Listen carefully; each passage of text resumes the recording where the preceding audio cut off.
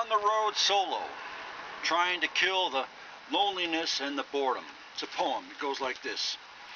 Last night, I lost $50 in the slots.